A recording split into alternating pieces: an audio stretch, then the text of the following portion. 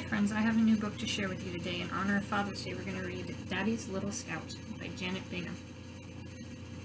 What kind of animal do you think Scout and his daddy are? Little Fox was making music. La la la la la, he sang. Shh, said Daddy Fox, listen. Little Fox stopped singing. Tweet, tweet, tweet, tweet, sang the tree sweetly. Is the tree singing? What's that? asked Little Fox. It is the tree making music too? It's Mrs. Finch, replied Daddy Fox. She's singing her nest building song. Can I see? asked Little Fox. Daddy lifted him up higher and higher until he could see the little twiggy nest. It wasn't a tree, it was Mrs. It was the little bird singing, Mrs. Finch. Just then, a nut landed clunk on Little Fox's head. Whoops, chuckled Daddy Fox. That's the trouble with trees. Those drop out of them.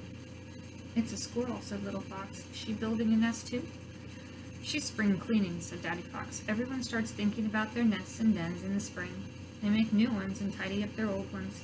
We can make a new home too, burst out Little Fox. Let's build a nest high up in the tree. Mm, do you think foxes live in trees? It's a good question.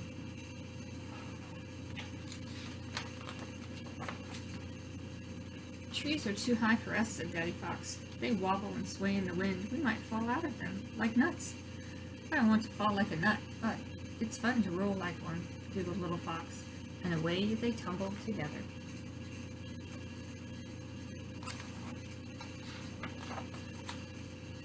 Straight into the bush. Oof, groaned Daddy Fox. I'm seeing stars.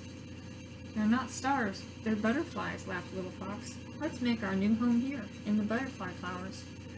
He leaned over to smell the blossoms and yelped, Ouch! Prickles! Daddy Fox hugged him. It wouldn't be very comfortable to live in there, he said, all prickles.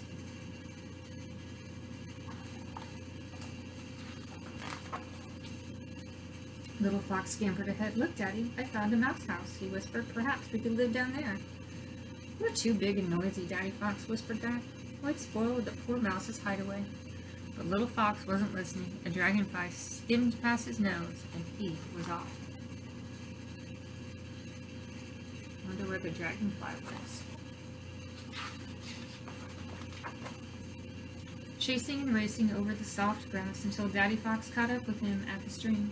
This is where the fish live, said Daddy Fox. Fox. Little Fox dabbed at the water. I'm glad I don't live in here, he said. It's wet and cold and runny, like your nose, said Daddy Fox, teasing him. Little Fox splashed him, like your nose, he giggled, and they ran back up onto the bank. It's like Little Fox and his dad are having lots of fun together, huh?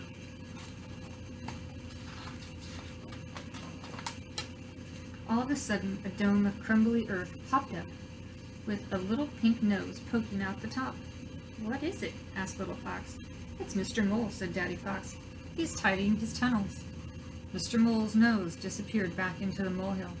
I wouldn't want to live down there, said Little Fox. It's too dark for me. And off he ran into the meadow.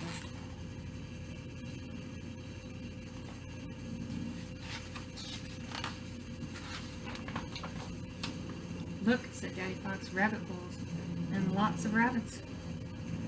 One, two, three, count, Little Fox. I can see ten. It must be very crowded in their house, said Daddy Fox. Come on, it's time to go. And they raced towards their home. All those rabbits. Must be crowded in their house, huh? Little Fox peered into their den. Our home might get crowded too, he frowned. It looks very small. That's because you have grown so big, said Daddy Fox. It's time for us to move to a new home now. And that's just what they did. They dug and they dug all afternoon, until at last they were finished. I'm glad our new home isn't high in a tree or in a prickly bush, said Little Fox, or in a cold, wet stream, or a mouse's house, or a dark mole hill, or in the busy rabbit warren, said, smiled Daddy Fox.